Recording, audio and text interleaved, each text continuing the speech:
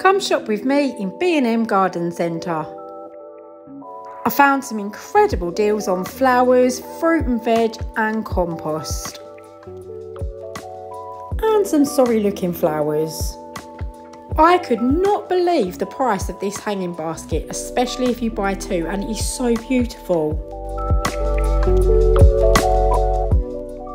This is an evergreen perennial that produces these gorgeous white flowers in late spring and early summer. English lavender, perfect for your front flower beds.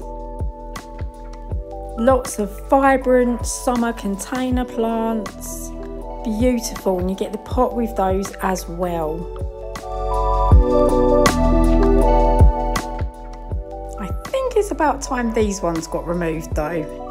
Some really lush begonias. These perennial lilies were amazing value. On to one of my favourites now. I love these. Look, look at the way they get that little bell at the bottom. A truly stunning flower, this one.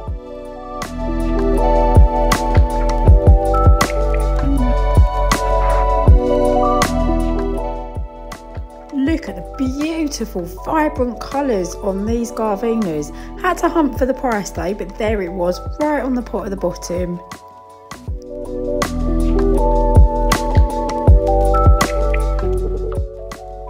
We love tomato plants. We buy these every year. They're just great, so fresh when you get them. You can pop them in your salad.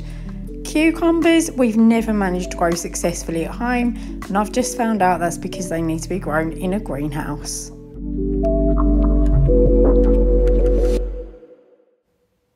The lettuce was really good value.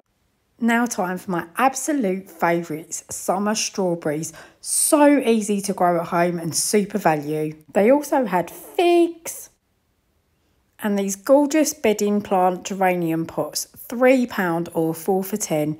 You absolutely can't go wrong at that price. On to the pots now and I really could not believe that there was such an amazing array of different types of pots. Look how many they are, so many different colours and styles, everything you would need really. Thank you so much for watching. Please do remember to like and subscribe to my channel.